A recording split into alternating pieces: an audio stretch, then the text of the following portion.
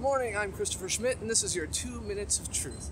So, yesterday, YouTube did a large scale sub purge. The sub purge is a colloquial term that many of us YouTubers use to refer to the fact that YouTube regularly cleans up the public sub counts to more accurately reflect, reflect reality. Fact number one about this sub purge YouTube had already been showing you the correct data in your analytics for quite a while now. There should be no new data that has entered the public sphere. It's just a representation of the public number of what you were already seeing in the private number. Um, this used to happen every day. For a while, it was broken, now it's fixed, and suddenly you get a big cleanup of subs that you had already been missing via the purge for a while.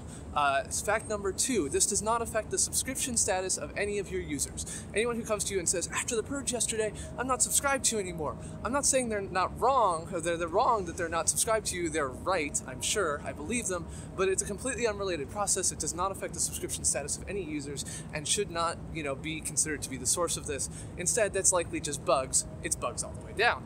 Um, number fact number three, the subscribers you're losing via this purge are not real subscribers. These are spam subscribers. So when someone signs up to me with 40 different accounts so they can insult me via my sub notifier, YouTube notices that and it says these aren't real subs, these are some other way bogus. We don't want to have users use these to inflate their sub count, we're going to remove them.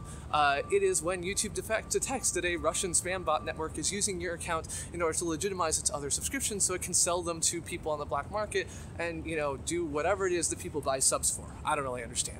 Um, so, you know, you don't really want those subs. They weren't meaningful to you. They weren't people who were watching you. Even if they were people who were watching you who somehow got removed in the number, it does not change their subscription status. It does not change anything else about their relationship to you. And and to decry this as terrible is just saying that you support the Russian mob. Do you support the Russian mob? Because I don't.